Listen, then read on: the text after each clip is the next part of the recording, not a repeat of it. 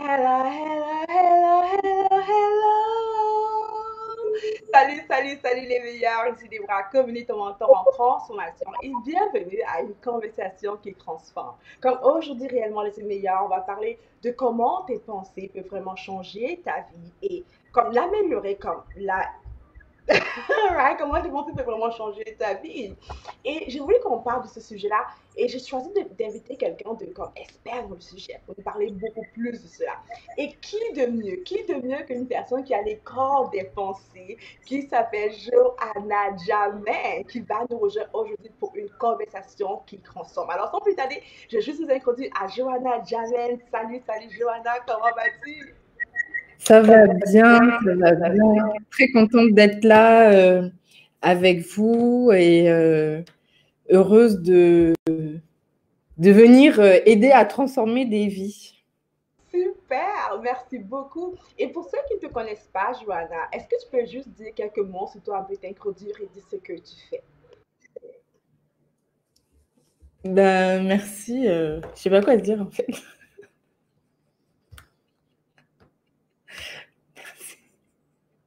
En fait, Joanna, c'est qui? En fait, Joanna, c'est une coach de vie, right? Et c'est ce que je sais que tu fais. Tu es coach de vie et tu aides beaucoup de personnes. Et je vous le dis bien des femmes, mais je ne sais pas si tu aides aussi les hommes, mais je crois que tu aimes tout, tu aides tout le monde dans plusieurs domaines de leur vie, avoir une meilleure vie, euh, bref, améliorer la vie. Mais s'il y a quelque chose de spécial que tu fais, que j'ai remarqué comment tu te distingues beaucoup, c'est vraiment avec ton école de pensée. Parce que tu aides des gens vraiment à consommer leur vie, mais au travers surtout de leur pensée. C'est ça. Est-ce que tu veux rajouter quelque chose là-dessus? Euh, oui, en fait, parce que euh, ben, s'il y a bien une chose qui ne, qui ne quitte pas nos vies, c'est euh, ben, ce dialogue intérieur en nous qui nous accompagne tout le temps. Et ben, on vit en fonction de ce qui est raconté là-dedans. Et ça change nos émotions, ça change notre humeur et ça, ça change tout ce qui se passe à l'extérieur. Donc, et c'est tellement vrai. Et ça me fait juste penser à cette parole euh, qui dit que la foi vient de ce qu'on entend, right? Et euh, récemment, lors de mon étude biblique avec mon équipe, pas mon équipe, mais mon église en tout cas, on était sur Zoom et j'ai dit quelque chose d'assez stupide ou d'assez drôle, mais aussi vrai, right? Et j'ai dit ceci que oui, la foi vient de ce qu'on entend, mais ce qu'on entend le plus souvent, c'est ça qui nous donne foi. Et si nos pensées sont négatives et on entend encore et encore des pensées négatives, on a foi avec des choses négatives en fait. Qu'est-ce que tu penses de ça? Ben, c'est tout à fait vrai en fait, parce que je vais prendre un exemple, un autre exemple. C'est tout simplement que euh, les choses par lesquelles on va se nourrir, on va se nourrir à l'extérieur. Euh, beaucoup quotidiennement vont venir nous euh, remplir à l'intérieur, vont impacter notre subconscient et vont commencer à revenir vers nous. En fait, c'est comme s'il y a tout le temps un, un aller-retour en fait qui se joue. Et si par exemple, si tu es euh, bah, comme moi, quelqu'un qui est un petit peu prophétique, euh, tu as un petit peu des dons spirituels comme ça, euh, si tu te nourris des informations genre Covid-19 24 heures sur 24, ça te transmet une énergie, ça te transmet quelque chose. Et si tu te nourris de ça même 3, 4, 5 fois par jour, tu vas te rendre compte que même si tu n'avais pas peur, à un moment, ces pensées vont se déposer dans ton, euh, subconscient.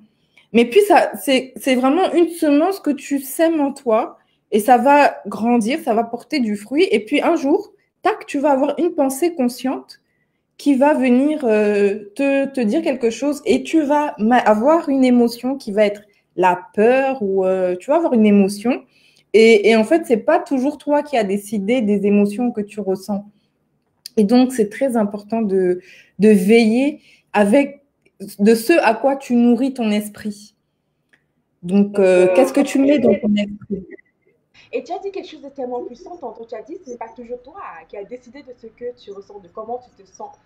Attends, comment ça? Beaucoup de personnes, en fait, ils croient qu'ils peuvent juste. Euh, du moins, j'ai toujours cru que j'étais heureuse parce que je voulais être heureuse. Comme je suis Christ parce que je souhaite être Christ. Mais ce n'est pas forcément vrai. Ça commence quelque part.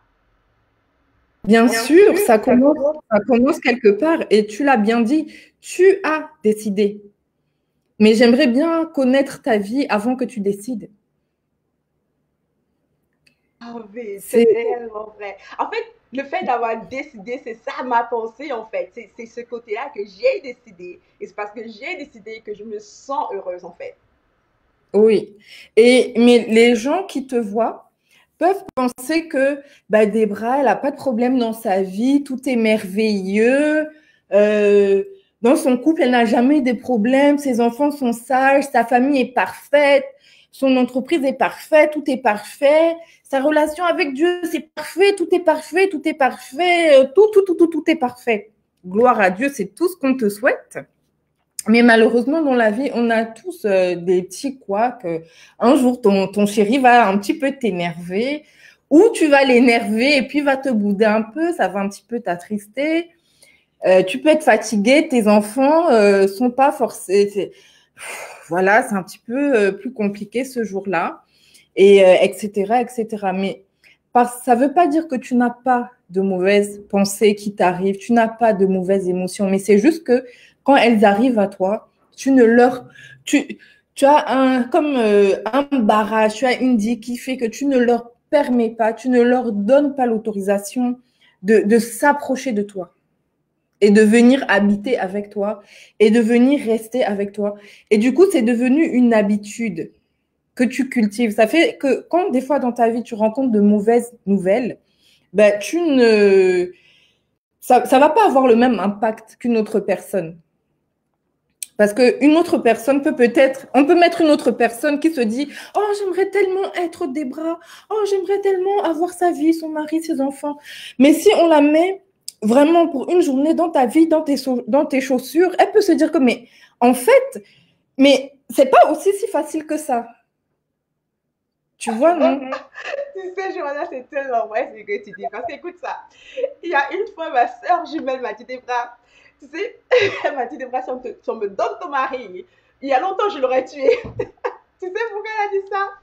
Parce que mon mari est super aventurier. Alors, on peut, on peut voyager comme ça, on se lève le matin puis on part, ou on déménage comme cela. Alors que elle, a besoin de beaucoup de cadre, d'un de, de, d'un cadre, tu vois, de la stabilité. Et nous, on est super, super gaga et tout le reste. Et tu as complètement raison. Parce que si on mettait quelqu'un d'autre dans ma vie, je suis certaine que peut-être pour lui, ce serait comme, de quoi elle parle? Comme, this is crazy, c'est juste fou, right? Et pourtant, moi, je me satisfais dans cela. En fait, de ce que je comprends et ce que tu dis, c'est que tout commence par à l'intérieur de moi et non à l'extérieur de moi. En fait, nos émotions, de ce que je comprends, sont comme des réactions. C'est comme des résultats, en fait. Est-ce que c'est ça? Euh, oui, il y, a, il y a deux côtés. Il y a le côté qui va être vraiment, ce sont des, des réactions par rapport à ce que tu as vécu, par rapport à tes expériences euh, et tout ça.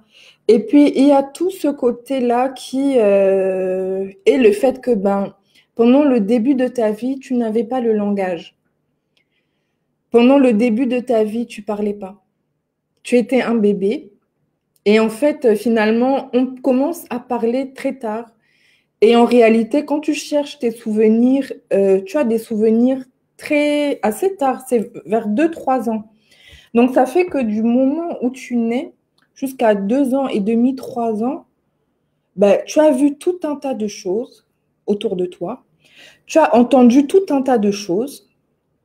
Et en fait, c'est comme si on a pris, euh, bonjour un petit machin là, on a pris une disquette en toi et on l'a mise dans ta tête. Et maintenant, tu vis en fonction de ça et tu crois que la vie, c'est ça.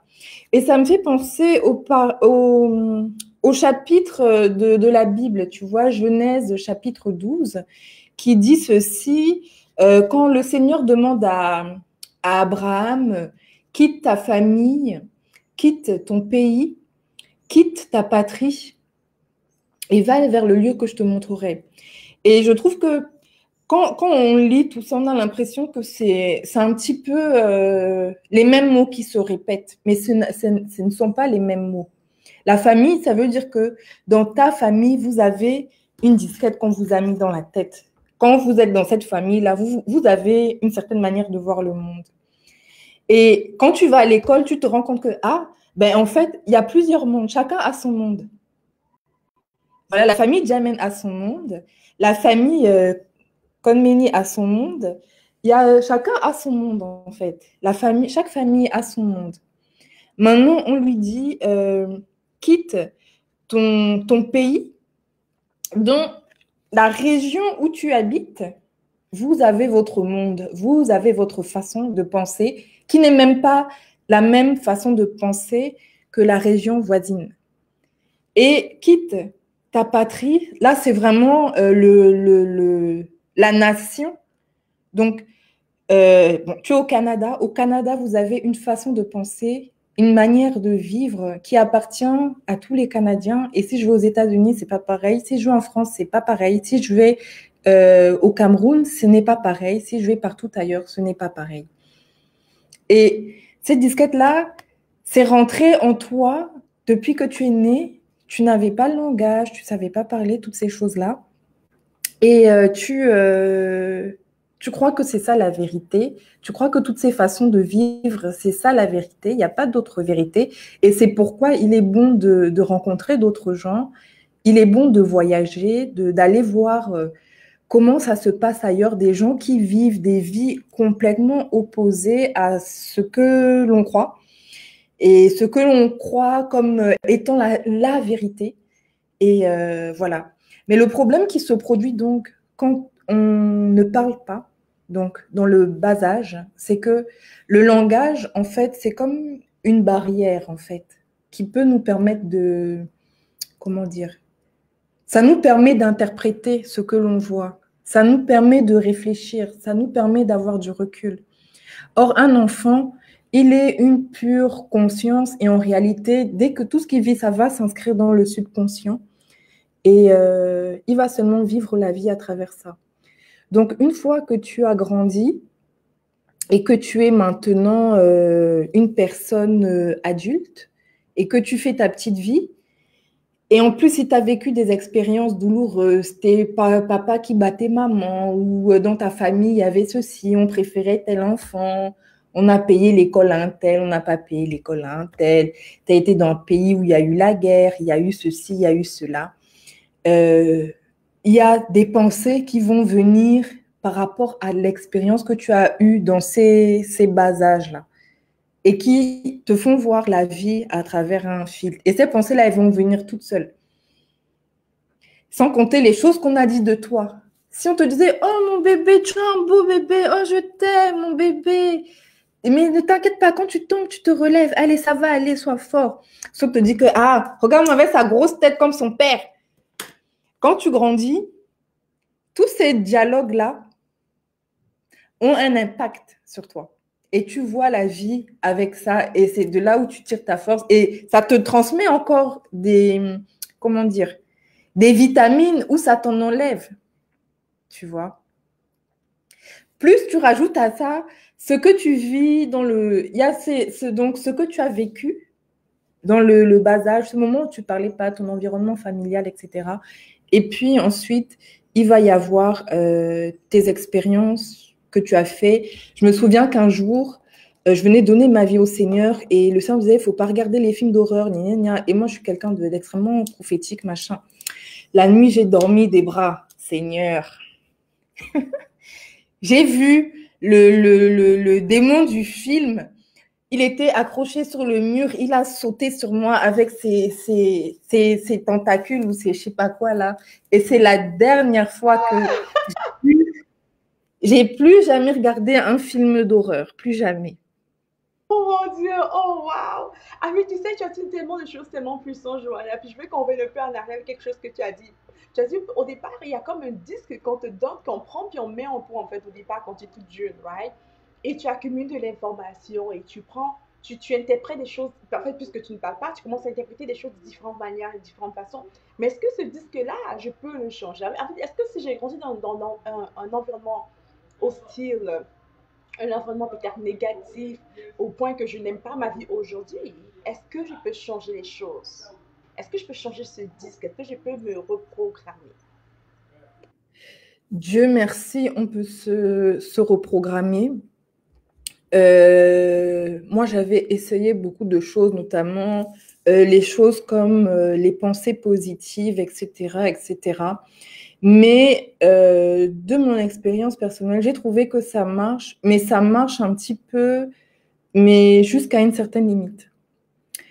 Ça veut dire que ça va faire effet mais à un moment, tu... c'est comme si il faut toujours... tu sais, c'est comme dans les films euh, euh, médicaux, urgence, euh, Grey's Anatomy, tout ça. À un moment, les, ta- les palettes, chou, chou, chou, tac, tout, tac. Il faut toujours revenir réanimer tout ça. Et c'est pas tout le temps que tu as du courage pour faire ça.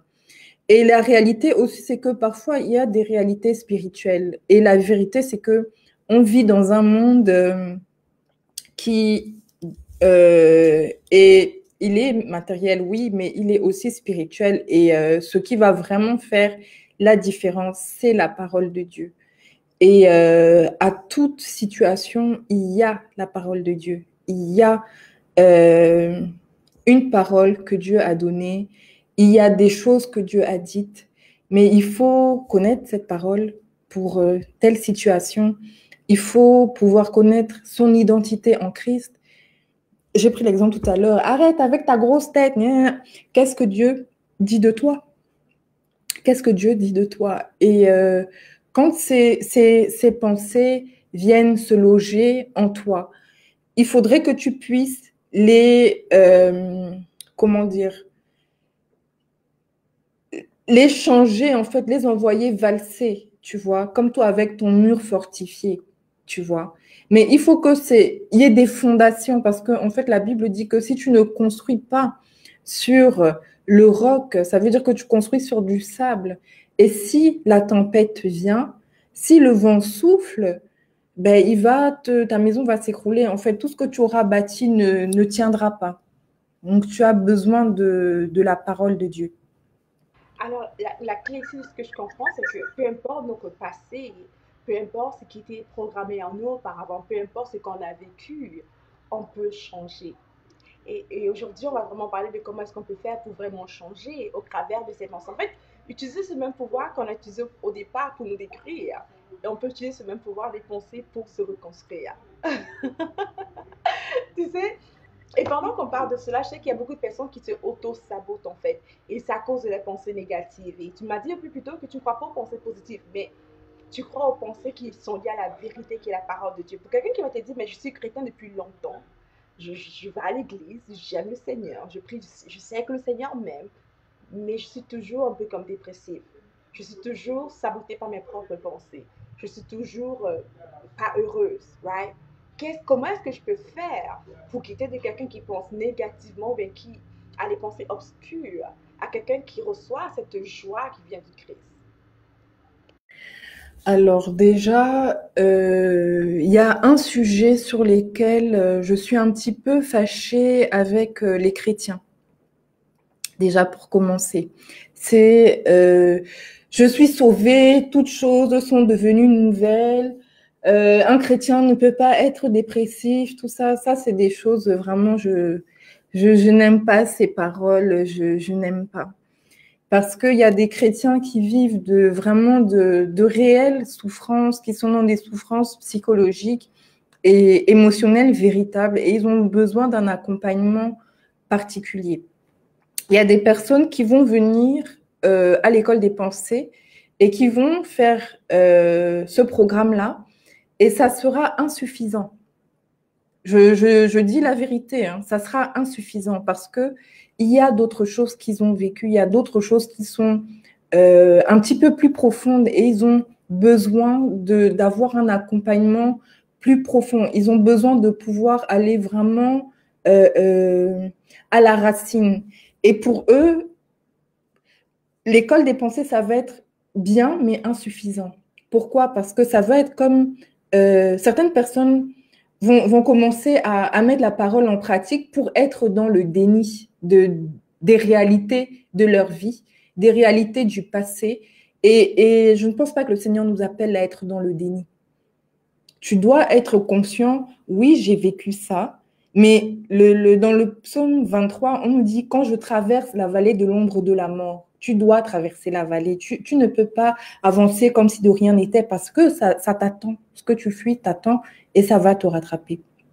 Et notamment, euh, je, m'occupe de femmes violées et euh, j'ai accompagné un certain nombre d'elles. Je, commence aussi un programme dans, dans un mois euh, avec certaines de ces femmes. Et c'est des personnes qui, elles peuvent suivre le programme des pensées. Ça va être, ça va être bien, ça va être très bien, mais ça va être insuffisant parce que quand tu as vécu un traumatisme profond où ton, temple a été profané, où ton identité intrinsèque a été vraiment bouleversée, tu, ne sais plus qui tu es, tu ne fais plus confiance en personne, tu n'as plus de, de projet d'avenir, tu, tu es comme dans une prison enfermée en toi-même, ça, ça sera bien, mais ça sera insuffisant. Donc, je, je voulais vraiment pouvoir, euh, chaque fois que j'ai l'opportunité de, de pouvoir euh, dire cela, je, je n'hésite pas.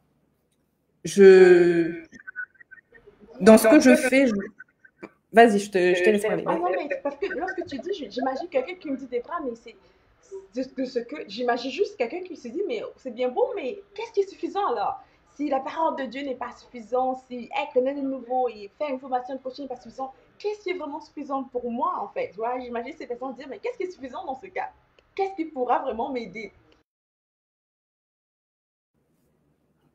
Écoute j'ai lu euh, la Bible les livres les livres apocryphes et j'ai trouvé un verset merveilleux qui, m'a beaucoup plu. C'est dans les livres apocryphes et qui disait ceci que ne rejette pas le médecin. Ce serait être insensé parce que Dieu l'a créé pour la guérison. OK? Je ne crois pas en euh, la comment dire la psychologie toute seule, parce que je suis quelqu'un, j'ai eu beaucoup de problèmes dans ma vie. J'ai été dépressive, j'ai subi des abus sexuels, j'ai été dans des dépendances, euh, comment dire, au cannabis. J'ai vécu vraiment beaucoup de choses. J'ai roulé ma bosse chez les psychologues, comme on peut le dire, et c'était insuffisant. Je suis arrivée à l'église, on m'a dit, mais non, tu es sauvée, laisse tout ça, papa, bon Dieu, il va tout faire pour toi. Et c'était toujours insuffisant. Et après, quand j'ai su euh, allier les deux, j'ai trouvé ma paix et ma guérison. Les deux tout seuls, ça ne marche pas. Dieu a créé le bœuf. Mais si tu ne cuis pas le bœuf, tu n'allumes pas le feu, tu cuis, tu prépares la nourriture, tu vas mourir de faim. et j'aime vraiment ce que tu dis, euh, Johanna, tu sais, parce que très souvent, on a tendance à faire ça un peu à l'église, et, c'est vrai, Dieu peut guérir tout problème. Une personne qui est passée par ce que j'ai passé au travers peut juste naître de nouveau et tout s'évapore. Hey, pour lui, c'est comme Hallelujah, c'est fini, right? Et chacun voir le chemin, et chacun, chacun a comme un chemin que Dieu le guide au travers, according to his destiny, en fonction de sa destinée. Et je crois réellement que ce n'est pas tout le monde, comme tu as dit, qui va être tu peux passer par l'école des pensées, subitement euh, tout va bien pour toi, c'est fini, tu es totalement restauré, tu es heureuse. Ou bien tu auras besoin d'un accompagnant aussi, right? Dieu seul sait, right? Tu peux avoir besoin d'un psychologue, peu importe. Mais dans tout ce que tu as dit, je vois, des gens me dire des fois, me parler de l'école des pensées. L'école des pensées, c'est quoi l'école des pensées? Ça c'est à quoi cette école des pensées? C'est quoi ce truc? Parle-nous de plus, parle-nous plus de l'école des pensées, s'il te plaît. Alors, l'école des pensées, c'est un programme que j'ai euh, fait au départ, qui est basé en fait sur le programme du jeune des pensées du pasteur Grégory Dico. Donc, il a créé un programme avec euh, genre, euh, vous pouvez tous le trouver sur Internet, il est disponible, avec 10, 10, lignes en fait, à chaque fois, 5-6 lignes de, de pensée à jeûner. OK? Donc, euh, je vous donne des exemples. En fait, là, on, parle de manière globale. Mais j'ai déjà essayé un jour de me dire, je chasse les mauvaises pensées pour aujourd'hui. Je mets le casque du salut et j'y vais. Et c'est extrêmement difficile. Surtout quand on a une mauvaise hygiène mentale comme ça, c'est vraiment difficile. Mais donc, jour après jour, une journée après une journée, euh, on touche à différents types de pensées. OK?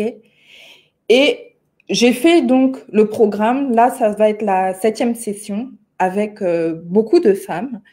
Et euh, c'était sur 40 jours. Tous les matins, on se levait à 5 heures du matin et euh, on faisait une vidéo comme ça en groupe sur Facebook. Et à partir du, du texte pardon, de Grégory Dico, je donnais tout un enseignement. On avait des vidéos de deux heures et tout ça, c'était hyper long. Et le samedi, on avait des vidéos parfois de euh, trois heures. C'est vraiment, c'était super, super intensif. Mais euh, c'était en 2020, non, il y a eu le Covid, 2019. J'ai fait une rencontre avec les anciennes personnes qui étaient venues et euh, je me suis rendu compte que elles avaient eu beaucoup de victoires. Elles ont vécu vraiment beaucoup de choses dans leur vie et tout et euh, leur relation avec le Seigneur. En fait, on touche vraiment tous les domaines. Je vais vous lire un petit peu toutes les, tout, tout ce que ça couvre. On, touche euh, tous les, les, domaines de la vie. La relation avec Dieu, euh, le péché, le, la culpabilité, les finances, le sentiment de pas se sentir, et le, la solitude, euh, le fait de. En fait, tous les, genres, vraiment, ça couvre beaucoup, beaucoup de mauvaises pensées. Et, mais en fait, je me suis rendu compte que les personnes ne conservaient pas leur changement sur une longue durée. Parce que après les 40 jours, certaines personnes aussi qui vivaient des, qui avaient des attaques spirituelles dans leur vie étaient démunies et ne savaient pas comment se, tenir face à leur challenge. Mais il y a vraiment eu des, euh, des, vraiment des vies bouleversées, des choses extraordinaires qui se sont passées. Et nous-mêmes, c'est à partir de l'école des pensées que nous avons fait notre première conférence. En fait, quand tu sors de là, tu as l'impression que tu es Dragon Ball Z, tu as mangé du feu, tu marches sur les eaux, tu es... voilà. Et donc, Là, je voulais faire, je voulais accompagner les gens d'une manière différente et sur une, longue période. Et je voulais plus que, parce que en fait, les 40 jours, on dit 40 jours, on a l'impression que c'est long, mais ça va super vite. Les jours défilent comme ça, tac, tac, tac, tac, tac, tac, tac, Et là, je voulais vraiment que chaque personne prenne, puisse prendre le temps de vivre son, son truc et affronter les choses. Et j'ai trouvé que une semaine, une pensée. Une semaine, une pensée. Et je n'ai une pensée, c'est, par exemple, je prends l'exemple, euh, là, dans la prochaine session, donc la pensée à jeûner, c'est je ne peux pas changer. Ça veut dire que chaque fois qu'il y a une pensée, pas forcément textuellement, je ne peux pas changer, mais chaque fois qu'il y a quelque chose qui ressemble à je ne peux pas changer, tu dois euh, remplacer ça avec la parole de Dieu. Et je donne un, enseignement qui accompagne cela. Et à la différence de, des autres sessions, je voulais vraiment, euh, comment dire, je voulais faire des, super guerrières, des super women, je voulais vraiment changer la vie des gens. Et que il y aura donc, et ce, ça, ça sera sous forme de direct chaque euh, samedi. Et euh, tous les, comment dire ça, tous les, euh, je pense que ça va être le mercredi, un autre jour dans la semaine, on aborde un thème. Mais ce sont les, thèmes, les thèmes qui sont souvent abordés coaching et qui permettent de, comment dire, de vraiment être transformé, tu vois. Et il y a des personnes, quand tu leur demandes que voulez-vous, bon, allez, je, tout le temps, je fais toujours ce truc-là. Je dis, il est 18h39. Et je demande là à toutes tes auditrices, euh, à 20h, le Seigneur dépose un million de la monnaie de votre pays dans votre compte. Mais vous devez donner une liste des 30 choses que vous voulez faire. Je ne sais même pas s'il y en a qui arrivent à 4. 30, c'est beaucoup de choses. deux choses. Non, mais toi, tu es coach, tu es, tu es formé, tu, es, tu sais. Mais beaucoup de personnes marchent dans la vie sans ils, n'ont pas de vision, ils n'ont pas de projet, ils, ne savent pas où aller, ils ne savent pas ce qu'ils veulent. Vraiment, on va, chaque mois, on va avoir un thème particulier. On va donc traiter de la vision. Euh, dans la vision, genre euh, les vision boards. Euh, on va parler de, des finances, l'abondance, parce que euh, dans ce que j'ai comme thème, j'ai quelque part, il est où? Bon, je ne le trouve pas. Mais euh, il est quelque part, euh, je, je, je, manque de tout, tu vois. Il y a aussi une pensée, le bonheur est si difficile à trouver. Et c'est des croyances comme ça qu'on a qui nous polluent. Je n'arrive pas à tourner la page du passé. Et on va vraiment aller comme ça, pas à pas. Dieu est loin de moi. Pourquoi tu crois que Dieu est loin de toi? Et pendant une semaine, tu vas dealer avec cette, euh, cette pensée-là.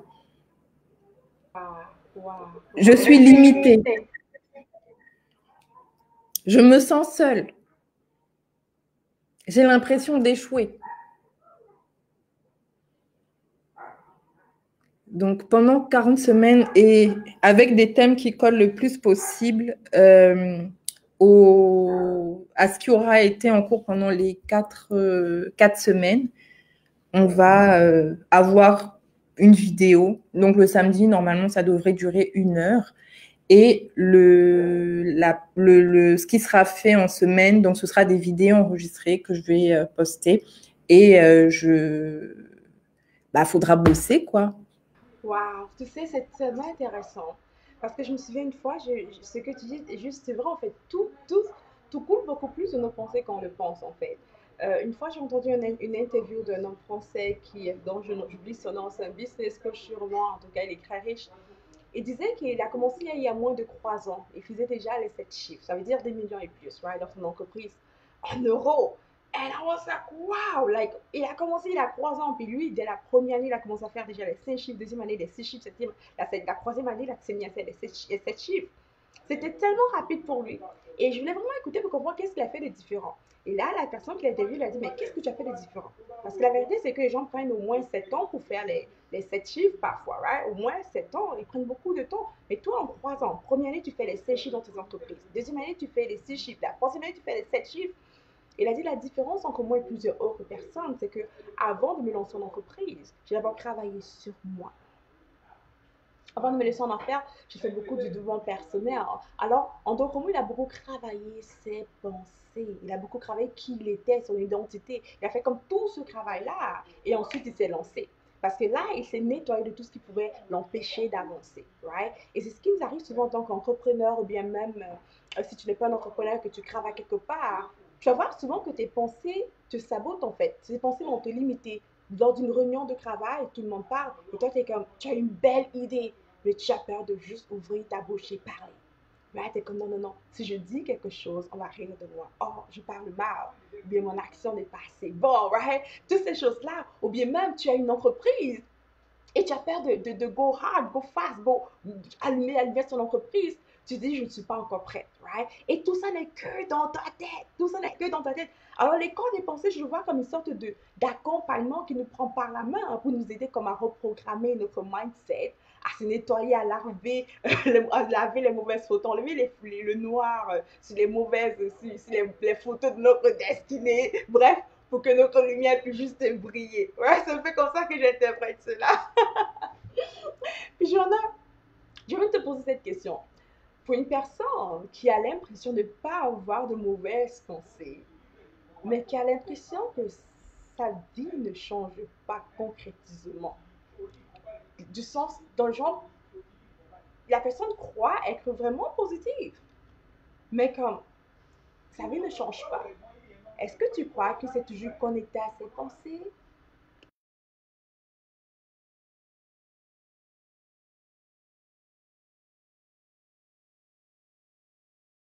Je ne peux pas entendre, je pense que j'ai perdu le son de mon côté. Il y a quelque chose qu'elle ne fait pas. Et il y a certainement quelque chose que où elle, elle pense qu'elle a des pensées positives, mais il y a un domaine où elle a des pensées négatives et où elle n'ose pas. Ou, parce que si ta vie ne change pas, ça veut dire que tu stagnes. Ça veut dire que tu n'as pas de projet. Ça veut dire que tu... Euh, parce que normalement, pour qu'il y ait du mouvement, il faut que tu aies... Euh, comme le, la Bible dit, hein, le proverbe 31, la femme euh, vertueuse, elle voit de loin un champ et elle l'acquiert. Il faut que tu aies vu. Attends, attends, refaites ça encore, refaites ce verset, refaites cette partie, s'il te plaît. J'ai dit que, en fait, c'est comme le proverbe 31. La femme vertueuse, elle voit de loin un champ et elle l'acquiert. Ça ne veut pas dire qu'elle va au champ travailler. Ça veut dire juste qu'elle a une idée qui est de loin. Elle, elle voit quelque chose qu'elle veut conquérir. Et elle, elle veut, euh, elle a un projet. Et elle, euh, elle est à l'étape de projet, elle l'acquiert, elle le manifeste. Elle amène à manifester. Attends une seconde ici. Alors la femme, la femme vertueuse, elle ne voit c'est elle qui voit un champ et la grâce. Ce n'est pas comme Dieu ou un ange qui la présente un champ et qui la convainc que c'est ça qu'elle doit faire. Comme, non. Il, y a, beaucoup, il y a beaucoup de chrétiens qui disent souvent, mais Débra, comment je suis sûre que ce que je vois vient de Dieu? Comment je suis sûre que ce que je veux vient de Dieu? Est-ce que je dois juste y aller? Ou bien en tout cas, j'attends qu'un ange vienne à ma chambre et me dise, ma fille, ma fille. Franchement, j'ai beaucoup fait ça. J'ai beaucoup été, euh, comment dire, euh, tout ce que je fais, il faut que euh, je demande la permission à Dieu.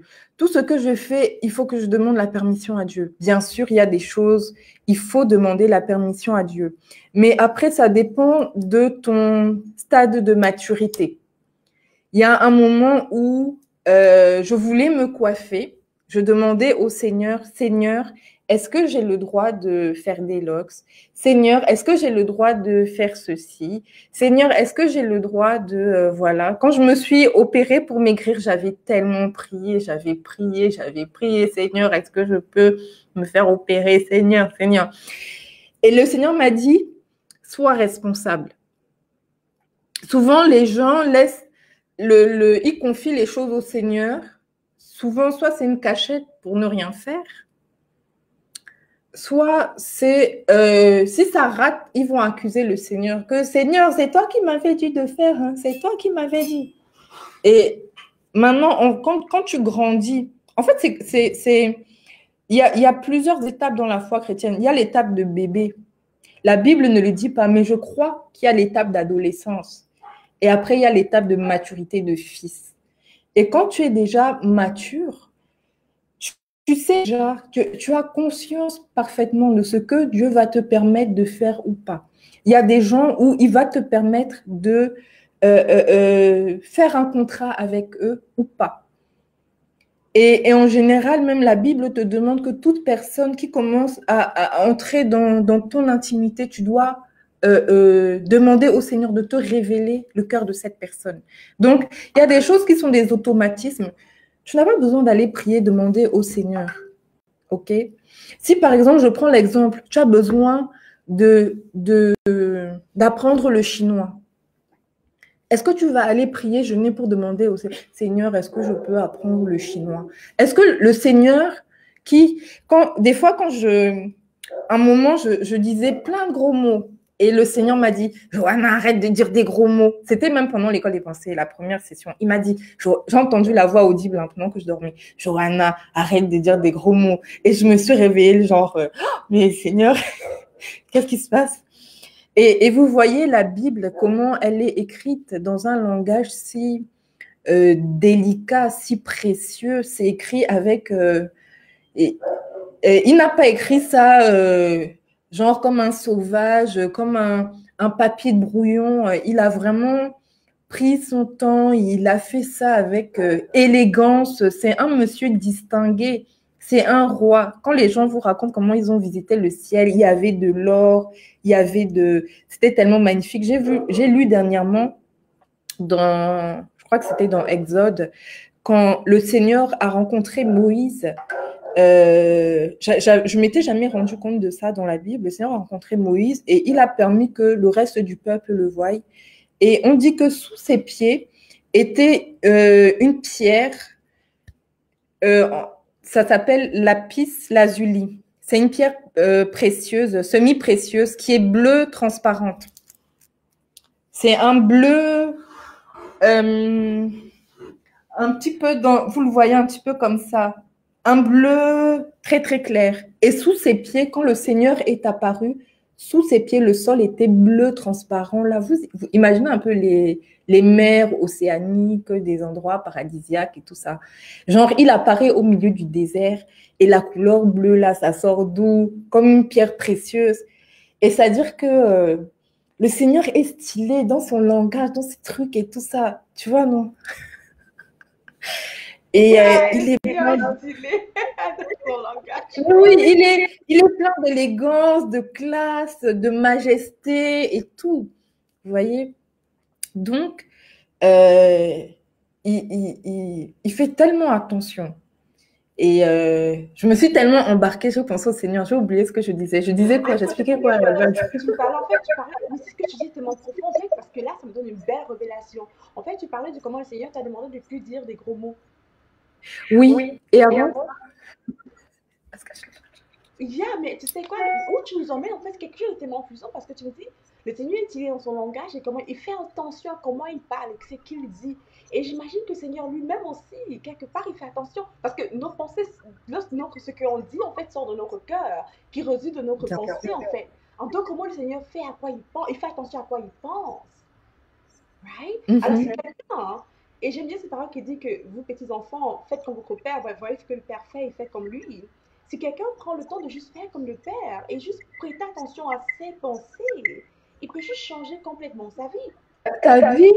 Et, en fait, c'est le fait de ne pas vivre euh, selon les pensées de Dieu qui nous empêche de vivre tous ces miraculeux dont la Bible parle. Parce que des fois, quand on lit la Bible, ben, on a l'impression que les miracles, là, tu te dis, bon, on est en 2021, c'est fini. Hein.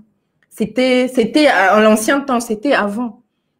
Peut-être tu vas avoir un ou deux petits trucs là qui vont t'arriver, mais des trucs, euh, vraiment des vrais miracles, waouh, tu vois. Genre, euh, il y a des témoignages, tu sais, à l'église, des gens disent oui, je veux remercier le Seigneur parce que je suis en vie.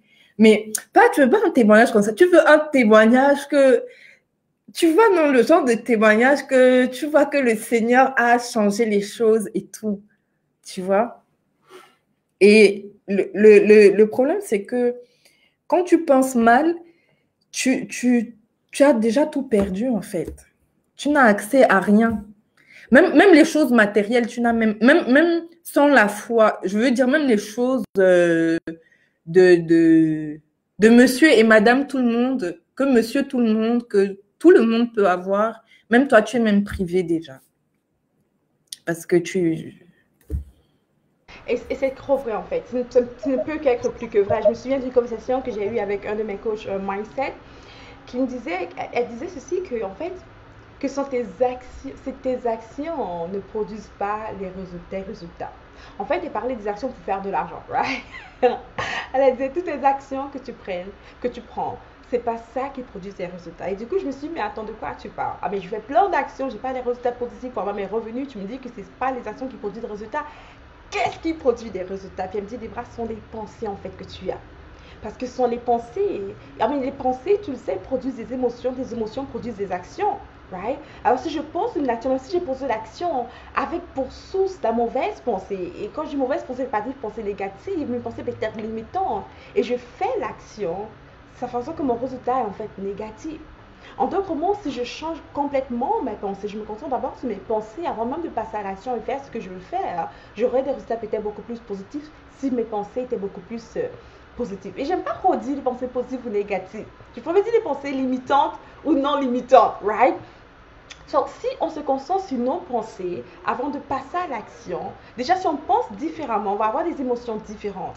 Et ces émotions différentes nous nous pousser à poser des actions complètement différentes qui vont créer pour nous des résultats complètement différents. Qu'est-ce que tu penses de ça, dis-moi? Ben, déjà, pour euh, ce que ta coach a dit, euh, c'est tellement vrai en fait, parce qu'il y a quelque chose que euh, la science appelle les neurones miroirs. Et je crois que ces neurones miroirs-là se transmettent sur le papier.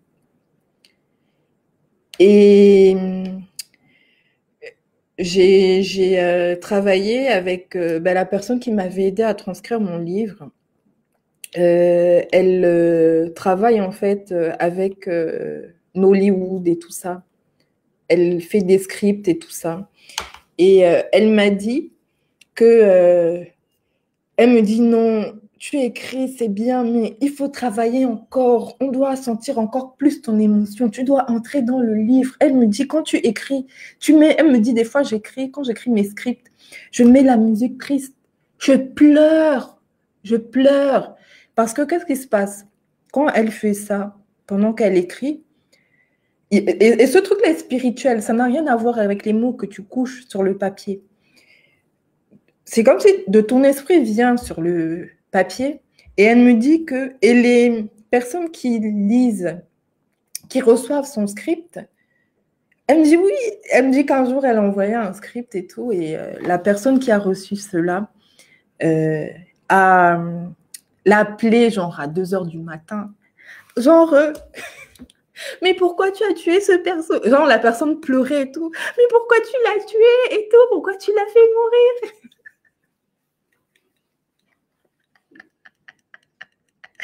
Elle me dit qu'elle a dit que, dis donc, elle est comme elle dit que, dis donc, tu m'appelles à 2 heures du matin pour ça, ça va pas ou quoi? Elle me dit, mais non, c'était tellement émouvant, pourquoi tu l'as tué et tout? Elle me dit, ce sont les neurones miroirs. Mais du coup, quand tu prépares euh, les choses que tu prépares et que tu mets de la peur dedans, les gens qui le lisent, mais ils ne sont pas conscients de ça. Hein. Ils ne se disent pas, euh, ah, des bras peur. Ils ne se disent pas, euh, des bras se dit qu'elle ne va pas vendre. Mais déjà, pendant que tu écris en te disant, je ne vais pas vendre, tu vois. Tu écris comme quelqu'un qui ne vendra pas. Et en même temps que tu écris comme quelqu'un qui ne vendra pas, malgré que tu te, tu te mentes à toi-même que tu vas vendre et que tu, tu, envoies cela, tu, tu essayes de te mentir et tu envoies les ondes neurones miroirs comme ça, je ne vendrai pas. Ah, waouh. Et j'aime bien le côté scientifique que tu apportes à cela pour vraiment certifier cela. Et quand j'y pense à ça, je pense à plusieurs personnes même qui veulent régler, restaurer, restaurer, qui veulent aider à restaurer le mariage du Seigneur, ils vont dire, Seigneur, je suis soumise à, ce, à cet homme. Mais avec des pensées un peu néro miroir, comme tu as dit tantôt, right? Ah, mais tu as fait la soumission, mais avec des pensées vraiment du genre, ah, regarde, lui encore. right? Ou bien toi qui vas avoir cette promotion extraordinaire à ton travail, mais tu le fais en même temps, tu insultes ton boss dans ta tête, right? mais tu travailles fort, tu poses des actions, mais tu n'es pas connecté à cela. Et quelque part, tu ne maudis pas forcément ce que tu fais, mais c'est un peu comme si tu maudis ce que tu fais, parce que tu ne bénis pas ce que tu fais déjà dans tes pensées. Et c'est fou à quel point lorsqu'on pense ça, je me rends compte, surtout lorsqu'on pense, euh, lorsqu'on parle de cela, Joanna, comment nos, pensées en fait guident tous les domaines de notre vie en fait. Donc si je travaille donc, sur mes pensées, seulement en travaillant sur mes pensées, j'aurai plus besoin de courir pour travailler. Euh, bien sûr, tu peux le faire plus tard sur mes finances, sur ma relation, ou peu importe. Parce que dès que j'ai des pensées propres, en fait, tous les domaines de ma vie aussi changent, les, ça impacte tous les autres domaines de ma vie aussi, right?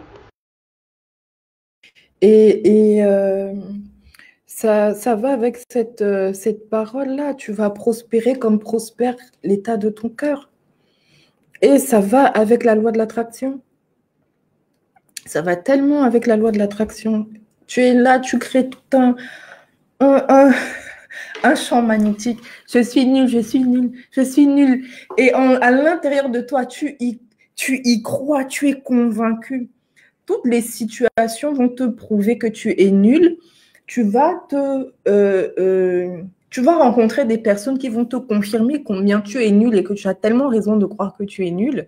Et, et ça va continuer. Tu vas écrire des, ça va continuer.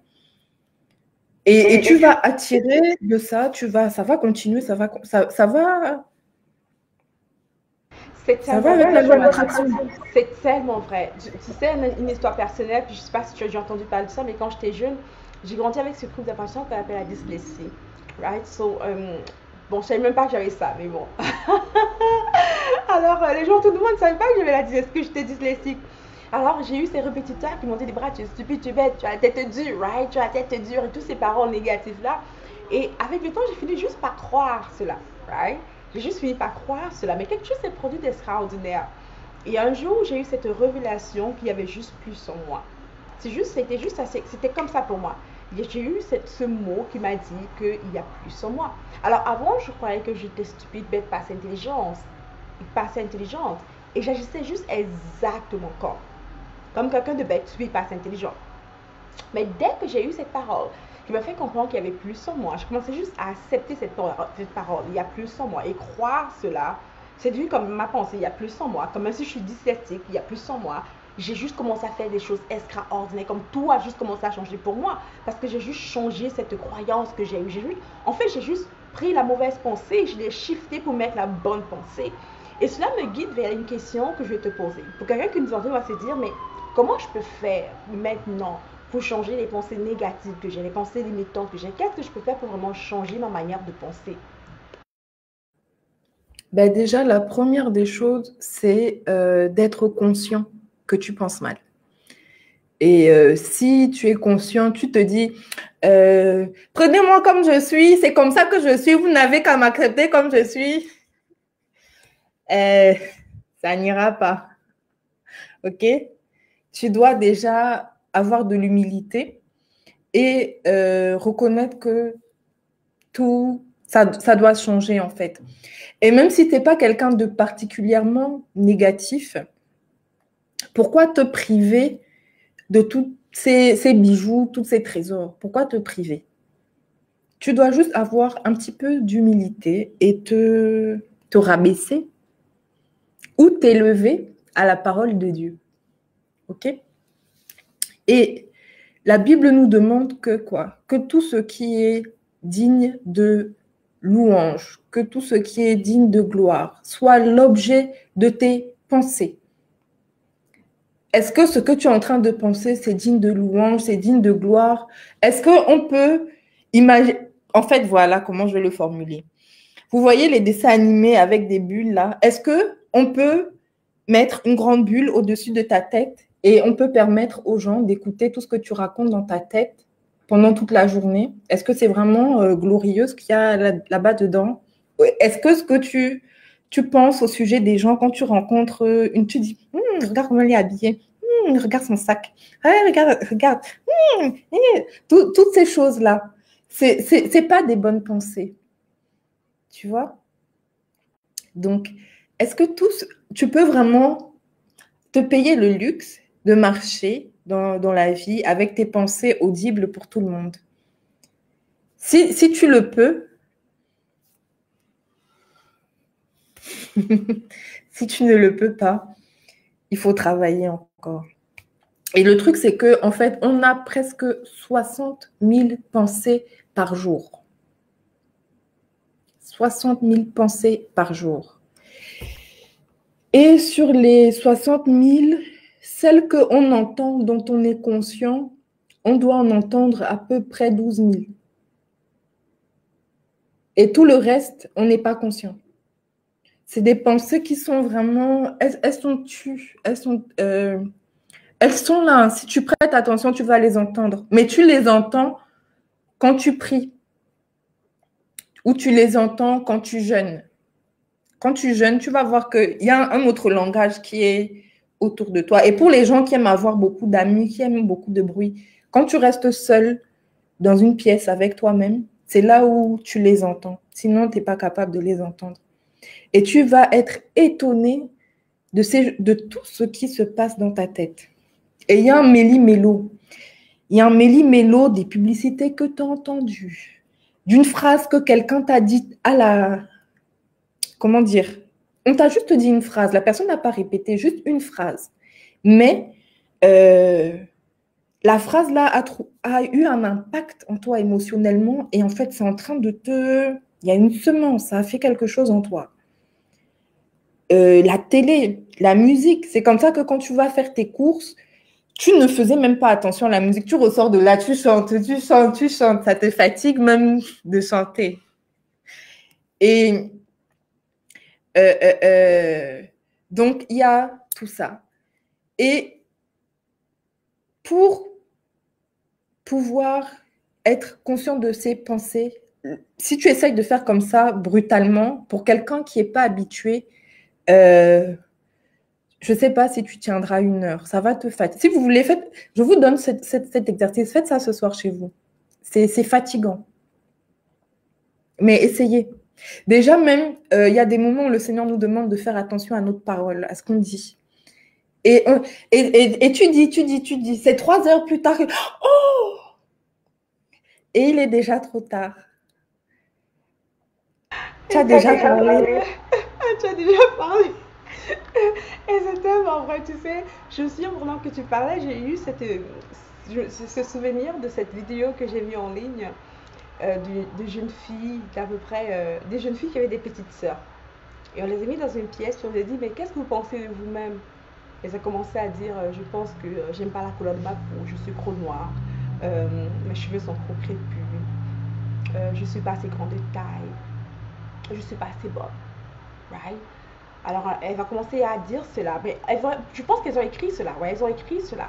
Elles écrivaient tout ce qu'elles pensaient de elles-mêmes. Et ensuite, on a dit, OK, maintenant, on a, mis la petite sœur devant elle. On lui a dit, mais lis ce que tu as écrit à ta petite sœur, comme si tu disais à elle. Genre, si tu as dit, je ne suis pas assez bonne, dis à ta petite sœur, tu n'es pas assez bonne. Tu n'es pas assez belle. Ton teint est trop foncé. Tes cheveux sont trop crépus. Puis, les grandes sœurs étaient quand. Elles disent, c'est impossible, je ne peux pas faire ça. On dit, mais si je te paie, est-ce que tu peux dire? Elle est comme, non, je ne peux pas faire ça. Elles, se sont mis vraiment à pleurer en disant, c'est comme si je suis en train de décrire ma petite sœur, right? Et après, on a arrêté le, test. Et on s'est fait comprendre à cette jeune fille-là que ce que tu es en train de te dire, en fait, tu te décris. En fait, c'est juste un effet miroir pour qu'elle comprenne que elle pense cela de elle, mais en même temps, lorsqu'elle pense du négatif de elle, elle se disent cela, right? Et comme elle ne veut pas décrire sa petite sœur, pourquoi est-ce qu'elle veut se décrire? Parce que c'est ça qu'elle fait en fait.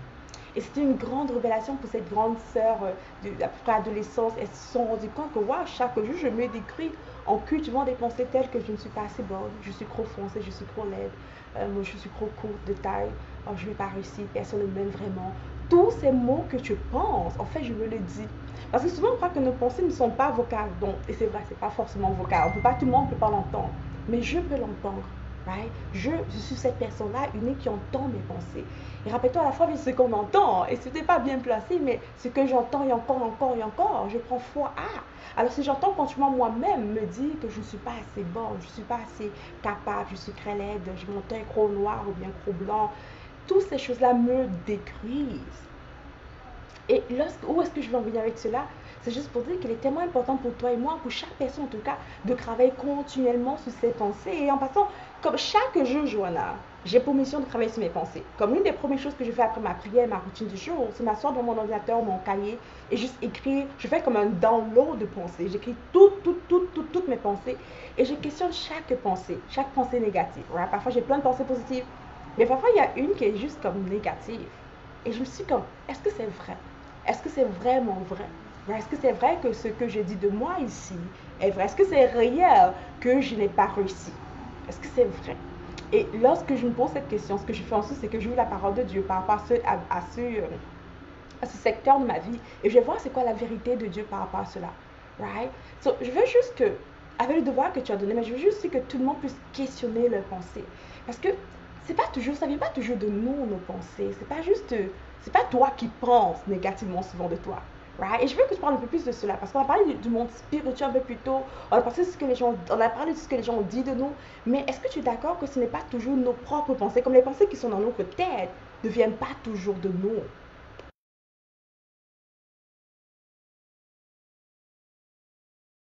Je crois que tu es soumis, Joanna. J'ai parlé des, des, euh, des disquettes de l'enfance qu'on a mis en nous et qui reviennent, qui rejaillissent. Et parfois, euh, ces choses sont des forteresses.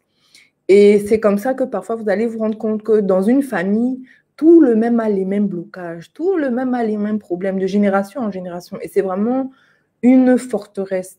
Et c'est là où euh, il y a ce verset qui dit euh, je, je, renverse toute hauteur, tout raisonnement qui se dresse contre la connaissance de Dieu. De un. Et parfois, il y a des esprits méchants qui. Euh, ben, parce que il faut bien comprendre quelque chose. Vous, vous êtes là sur Terre depuis, bon, on, va dire entre 25 et 50, 55 ans, peut-être plus, là sur la page. Mais euh, les démons sont là depuis des siècles et des siècles. Donc, ils connaissent très bien l'espèce humaine, ils connaissent très bien la nature humaine. Et puis, ils ont vu observer, vivre, et ils connaissent les, comment dire, les schémas de pensée. Et vous allez voir que par moment, euh, vous allez avoir une pensée. Mais ça, vous en rendez compte quand vous travaillez sur vos pensées, quand vous êtes attentif. Et, c'est pour ça que le, le, jeûne est bien. Quand vous êtes dans, dans euh, comment dire, en temps de jeûne, vous pouvez vous discernez mieux les pensées parce que la, la chair, les instincts parlent moins. Vous, euh, vous êtes plus attentif au monde spirituel et en réalité, les pensées se trouvent dans le monde spirituel. Et vous allez entendre une pensée vous chuchoter quelque chose. Et quand vous avez du discernement et que, par exemple, vous alliez bien, voilà, c'est la chose que je n'ai pas pu dire tout à l'heure, comment reconnaître qu'on a une mauvaise pensée? Dans un premier temps, c'est tout simplement en étant conscient de ses émotions. Ça veut dire que euh, si je me sens mal, je dois questionner pourquoi je me sens mal. N'acceptez pas de vous sentir mal. OK? Euh, Si tout d'un coup, on est là, on parle joyeusement, et puis j'ai une petite tristesse qui me vient là de je ne sais où. Pourquoi je me sens mal Qu'est-ce qu'il y a Qu'est-ce qui se passe Et ça me permet de remonter. À, en fait, la pensée, il y a la pensée, ensuite il y a l'émotion. Mais quand vous n'êtes pas habitué vous allez difficilement faire ce, schéma-là. Donc, vous commencez avec l'émotion. Pourquoi je me sens mal? Et vous allez questionner. Et parfois, vous allez vous rendre compte que c'est des choses vraiment très bêtes qui nous font sentir mal. Par exemple, euh, ben, il a coupé un morceau de gâteau, il m'a pas laissé l'autre bout. Et puis, vous vous rendez compte que, en fait, l'âme est comme un enfant capricieux, un enfant de 5 ans. Et vous êtes là, vous êtes triste, vous êtes mal à l'aise, vous boudez, machin. Et quand vous questionnez, mais pourquoi je me sens mal euh, vous, vous questionnez. Et puis vous remontez la source, vous remontez. Ah, ben c'est parce qu'il m'a refusé le gâteau. Et, et puis vous, vous revenez à vous-même et vous vous rendez compte que c'était vraiment ridicule, en fait. J'aime beaucoup cette et... astuce, c'est trop vrai. Je te laisse continuer, Johanna. J'aime vraiment ce que tu viens de partager parce que je t'assure, c'est trop vrai en fait. Lorsque tu parlais, euh, et j'espère que je t'ai pas trop interrompu, mais lorsque tu parlais, tu me fais penser à ma petite fille. J'ai une fille de 8 ans euh, et j'enseigne ça à mes enfants depuis quelques temps d'ailleurs. Et elle aime souvent, ben, juste comme ça en fait, elle se fâche voilà, pour rien en fait. Et juste comme ça, je suis Christ. Voilà. Puis elle me dit, maman, rends-moi contente. je suis comme non, pourquoi je ne veux pas te rendre contente? C'est pas moi qui te rends content. ou bien elle me dit, je suis juste Christ, ou bien elle va, me dire son émotion. Puis à chaque fois, il y a quelque chose que je l'enseigne toujours, c'est que ce n'est pas la circonstance qui t'arrive qui te rend Christ en fait. C'est tes pensées que tu as par rapport à cette circonstance. Comme pour le petit gâteau, le fait qu'on a coupé le gâteau, ce n'est pas ça qui t'a fristé en fait. C'est l'interprétation de ton cerveau par rapport au gâteau qui était coupé, qu'on t'a donné et qui a fait que tu te sens crise. Alors juste, j'aime vraiment ce que tu viens de dire. Continue s'il te plaît. Et euh, plusieurs fois, franchement, beaucoup de fois, vous allez vous rendre compte que c'est des choses vraiment euh, futiles qui vous gâchent la vie.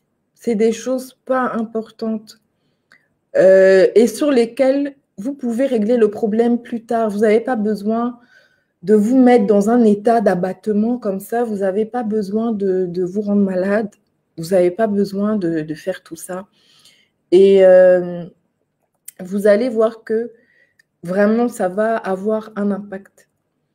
Et à certains autres moments, en fait, c'est au fur et à mesure de la pratique que vous allez euh, discerner de plus en plus. Vous allez vous rendre compte euh, également que il y a des moments où je me sentais bien, vous remontez, vous remontez, vous vous rendez compte qu'il n'y a rien. Et là, vous discernez que, mais ça ne vient pas du tout de moi. Je ne suis pas du tout la source. Et vous vous rendez compte que le monde spirituel existe. Et il y a un esprit méchant qui a décidé que je ne dois pas être en paix, je ne dois pas sourire, je ne dois pas euh, euh, me sentir bien. Et c'est où la parole de Dieu vient vraiment faire la différence avec la pensée positive, parce que la Bible nous dit que la parole de Dieu est comme une épée à double tranchant. Et quand le, le et, l'esprit méchant, vous le voyez pas, mais c'est vraiment, euh, il est venu chuchoter à votre oreille. Il est venu vous dire quelque chose. Et vous, vous n'avez pas des yeux. Si vous aviez des yeux spirituels, et, c'est toujours le problème entre, j'ai parlé du bébé tout, le temps, tout à l'heure, le conscient, le subconscient, toutes ces choses-là. Et donc, euh, vous êtes, euh, si vous étiez là et que vous voyez les démons et que vous le voyez euh, chuchoter dans vous, allez dire ah qu'est-ce que tu fais comme ça? Et puis vous allez revenir à la normale, mais vous ne le voyez pas. Et le problème c'est que vous allez embrasser une pensée, la faire vôtre, alors qu'elle ne vient pas de vous et qu'elle n'a rien à voir avec votre quotidien ou euh, quoi que ce soit. Et aussi, si vous avez eu l'habitude d'avoir des mauvaises pensées, alors que vous allez les entretenir, euh, comment dire, alors que vous allez essayer de vous en débarrasser, parfois vous allez vous rendre compte qu'il y a vraiment une résistance. Et vous allez vous rendre compte que quand vous êtes bien disposé, vous, discernez vraiment que euh, il y a un esprit méchant derrière. Vous vous en rendez compte. Et quand vous proclamez la, parole de Dieu, vous sentez vraiment le pouf, la libération qui se fait dans l'atmosphère. Vous voyez la percée. Et, euh, vous-même, vous le sentez sur vous. C'est comme si on est venu déposer un, voile sur vous, quelque chose, une espèce de toile d'araignée pour vous rendre mal. Et vous, euh, vous allez vous libérer. C'est totalement vrai. Et je pense que tout le monde ici peut relate. Euh, je sais qu'on a, et c'est qu'on a, on a, ce dont on a parlé un peu plus tôt, c'est qu'on a compris qu'il y a des pensées qui viennent de nous. Il y a bien sûr, on a nos propres pensées, bien sûr, mais c'est pas toutes les pensées qui viennent de nous. Et j'aime bien ce que Joyce Meyer une fois dit, elle dit, pense à ce que tu penses. pense à ce que tu penses. Donc il faut discerner, c'est quoi les pensées qui viennent de toi et c'est quoi les pensées qui viennent de l'ennemi? Et j'ai un jour entendu quelqu'un, je sais plus qui, qui l'a dit ceci, un homme de Dieu sûrement, qui disait que parfois, ouais, c'est le pasteur Mamadou Kamarbebe, si je prononce bien son nom, il disait que parfois, lorsque tu penses négativement, en fait, et que tu te sens mal, c'est parce que tu as écouté la pensée du démon et tu as accepté cela comme étant vérité. Alors tu te sens mal. Et lorsque tu as eu des pensées, euh, tu, animes des pensées positives et que tu te sens bien, heureux, c'est parce que tu écoutais la pensée de l'ange de Dieu et tu te sens bien tout simplement. Puis ici, le mystère, c'est de comprendre qu'à chaque fois que tu te sens mal, et bien sûr, il y a des moments qu'on peut dire c'est justifié, mais à chaque fois que tu te sens mal, surtout pour rien, c'est très souvent parce que tu as eu cette communication avec cet esprit négatif, méchant, et tu as accepté ces pensées comme étant vérité je me souviens pour moi, c'était comme un wow, c'était comme un ah moment pour moi. Parce que juste à partir de là, je me suis dit, attends, mais j'entretiens des pensées avec. j'entretiens une communication avec des démons et j'accepte ces pensées. I mean, really? Et, et, du coup, donc, donc, dès que je pensais mal, j'imaginais comme un esprit mauvais. Un peu comme tu as dit tantôt. Dès que je me sentais mal, en tout cas, j'imaginais comme un esprit des, méchants sur mes épaules qui parlait euh, à ma gauche, qui parlait mal qui parlait mal. Et moi étant comme oui, tu as raison. Puis du coup, ça me faisait juste me, me relever disant non, non, non, non, je refuse cette pensée. Et j'ai juste appris à juste rejeter les pensées négatives et mauvaises comme du péché. Right? Et pour moi, en fait, j'ai fait de violence avec ce genre de pensée parce que j'ai grandi en tant que quelqu'un de vraiment fâché. Pour rien, sans comprendre pourquoi. Alors, sur les photos de famille, j'étais juste comme ça, toujours fâché, pour aucune raison. et c'est fou qu'aujourd'hui, je sais. On a du mal à t'imaginer fâché. Hein. Je t'assure. Avec le sourire et pas une belle joie de vivre là. En grandissant, j'étais continuellement fâchée. Je ne sais pas pourquoi. Sur les photos de famille, je suis comme cela. Ouais. Ah, mais je sais maintenant pourquoi. J'entretenais les conversations avec les esprits mauvais qui me mentaient, right? Mais comme j'étais juste fâchée pour aucune raison. I didn't know why. Mais soudainement, ça a changé. Mais la révélation de ce pasteur Mamadou Kamambari m'a fait comprendre cela que lorsque tu te sens lorsque tu te sens mal ou que tu es fâché pour rien, surtout quand c'est pour rien, c'est parce qu'un esprit mauvais t'a parlé. Il est juste derrière tes oreilles, il te parle, il te parle. Et toi, tu es comme, oui, tu as raison, je me sentis mal, right? Juste le fait pour moi de voir cela comme, waouh, je parle à un esprit mauvais, j'ai dit, oui, il a raison. Alors que l'Esprit de Dieu me parle, je dis, non, il n'a pas raison. Non, non, non, enough is enough. Je vais plus me permettre d'entretenir de ce genre de pensée négative. So, dès qu'il y a quelque chose qui m'arrive, et que je veux même penser mal, ou bien que je veux même me sentir mal, je me reprends directement, comme je chasse cela vraiment comme du péché, comme si c'était un gros péché qui allait m'emmener en enfer. je me mets juste à combattre ce péché. Bref, je fais de mon mieux de cela. C'est juste peut-être une astuce qui peut aider quelqu'un d'autre aussi, parce que Like, really, il y a beaucoup de pensées que tu penses ne viennent pas de toi, right? Souvent, c'est juste l'esprit mauvais qui vient te murmurer de mauvaises pensées. Et si tu penses à ce petit esprit méchant-là qui te parle, et toi tu dis oui, tu as raison, je vais me sentir mal, oui, tu as raison, je vais me saboter, alors que l'ange de Dieu te parle, tu dis non, tu n'as pas raison, non, ce n'est pas vrai, je vais écouter les démons, right? Je ne sais pas, comment tu te sens lorsque je parle de cette illustration-là? Qu'est-ce que tu penses de ça, dis-moi, Joanna? Ben, je pense que c'est tout à fait vrai en fait. Et euh, ben, c'est le propre de, de l'être humain. On a cette nature charnelle en nous qui fait que euh, on est sensible aux démons. Et sauvé ou pas sauvé, on y est sensible et on doit euh, lutter, on doit résister pour euh, manifester euh, la vie divine et pour en profiter et pour ne pas se, se priver. Et souvent même quand tu, tu dis ça, qu'on se fâche pour rien et tout, parfois tu tu te rends pas compte et puis tu es des fois tu es fâché d'être fâché. Tu es fâché parce que tu te sens mal. Tu vois ce que je veux dire? Et euh, c'est un cercle. Et puis quelqu'un va te dire pourquoi tu es fâché? Et quand la personne là te parle, tu n'as pas envie de répondre et ça te fâche et euh, l'autre vous fâché et tu n'en sors plus.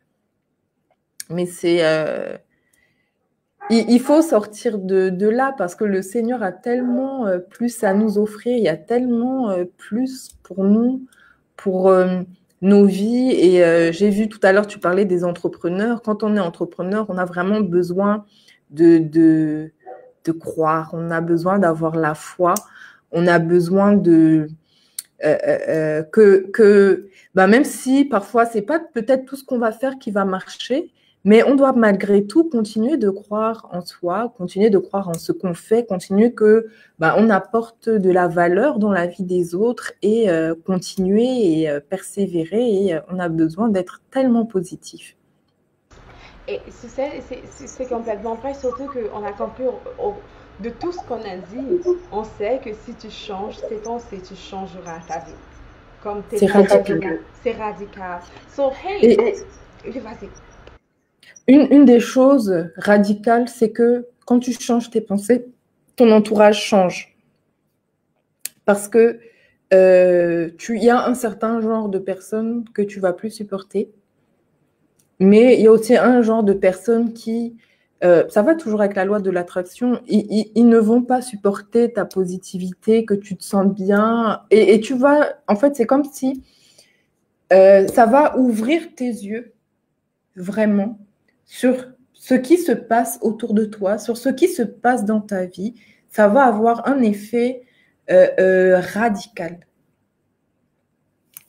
Et c'est tellement vrai. Et c'est justement la raison pour laquelle tu as comme pour mission d'aider beaucoup de personnes, beaucoup, beaucoup. Je sais que tu travailles beaucoup avec des femmes, euh, de travailler dans ce domaine-là, vraiment de penser. Et tu as cette belle école de pensée que je suggère à tout le monde de, vraiment considérer, avoir plus, d'avoir plus d'informations. Euh, où est-ce qu'on trouve l'information Parle-moi un peu plus de où est-ce qu'on peut trouver l'information, le site internet, de lien, où te trouver, on veut avoir plus d'informations sur toi, sur ce que tu fais. Parle-nous un peu de toi plus, où te trouver, s'il te plaît? Alors, où me trouver? Donc, sur Facebook, j'ai une page professionnelle qui s'appelle euh, Johanna Yawadjamen, coach de vie normalement, je l'ai enlevé, je ne sais plus, mais en tout cas, Johanna Yawadjamen. Et euh, c'est une. Un, bon, euh, sur Facebook, les ronds sont bleus. Euh, les ronds, c'est des ronds, non? C'est un, c'est. C'est un, oiseau jaune et euh, il y a un, fond bleu comme ça. Voilà. Et euh, je suis également sur euh, Instagram, sur Yaouch Jamen. et sur YouTube. Et en fait, ben, normalement, si vous allez dans mes infos, vous tapez sur les infos à propos et tout ça, vous allez avoir des liens avec mes différents réseaux sociaux et puis vous, vous aurez la possibilité de, de, me trouver. Et sinon, vous pouvez aller sur mon site internet www.johannacoach.com. Je ne retiens pas toujours. Normalement, c'est ça. Super. Et de tous les moyens, ce qu'on va faire, c'est qu'en barre de description, ici, vous allez trouver toutes les informations sur où rejoindre Johanna, ou la suite sur Facebook, Instagram, sa, son site internet et aussi son école de pensée pour ceux qui sont intéressés à avoir beaucoup plus d'informations. So, avant qu'on avant qu'on fasse un mot de la fin, Johanna, je vais juste dire à tout le monde comment est-ce que je t'ai connu. Parce que je t'ai connu en ligne, right? J'ai vu Johanna en ligne. Est-ce qu'il s'est passé une autre amitié? Parce que pour moi, Johanna, c'est une très bonne amie à moi. C'est que en fait, j'ai poursuivi Johanna. Puis je lui dis à chaque fois, et à chaque fois je dis à Johanna que j'arrive pas de la poursuivre. j'ai juste poursuivi Johanna, puis je te dis exactement pourquoi. Je, je, suis tombée un jour sur une des vidéos de Johanna, puis j'ai juste trouvé que c'était quelqu'un de tellement vrai. Vous avez sûrement remarqué, elle est juste tellement vraie et tellement. Euh, et le mot, je veux dire honnête, mais je, je, je crois que c'est vraiment, tu es vraiment honnête. Bref, tu es juste transparent, tu es juste toi. Et j'ai tellement admiré cela, trouver quelqu'un qui était juste elle, sans faire de semblant, sans se cacher derrière une voix, juste en étant juste elle. Et j'étais juste amoureuse de ça. I was like, wow, elle est elle, I love it. Parce que je suis attirée vraiment par les gens qui sont vrais, qui sont eux-mêmes, peu importe à quoi la version de eux ressemble. Et j'étais comme, je veux faire d'elle mon amie. Alors je me suis mise juste à poursuivre Johanna, tout simplement la poursuivre, c'est trop dit, mais à la rechercher la voir vraiment pour amie. Parce que tu sais, les gens, et, ça je pense une pensée que quelqu'un m'a dit une fois me disant des bras, il y a très authentique. Il m'a dit des bras, ce qui est autour de toi en fait, le reflet de tout ce qui se trouve autour de toi, tes finances, euh, ton, ta vie, en fait, ton mariage, ta vie, tout ce qui est autour de toi, tes amis, c'est vraiment le reflet de tes pensées. Et quelque part, il y a nos pensées qui travaillent aussi sur la loi de l'attraction parce qu'on attire qui on est et on est attiré parce qu'on a à l'intérieur de nous. Et Joanna a dit quelque chose, elle a dit que lorsque tu changes tes pensées, tu vas changer aussi ton entourage, même ton cercle d'amis. Right? Tu vas commencer à être attiré par quelque chose de différent. Right? Tes yeux vont juste s'ouvrir. Et sur ce, Joanna, je veux que tu donnes un mot de la fin pour quelqu'un qui nous entend depuis quelques temps et se dit, Joanna, je veux, je suis comme dans une zone, le monde n'est peut-être pas noir parce que c'est pas le mot qu'elle interprète, mais dans une zone, on va dire qu'elle n'est pas dans sa meilleure des zones présentement. Right? Qui est celle qu'elle cultive des pensées négatives, des pensées d'auto-sabotage.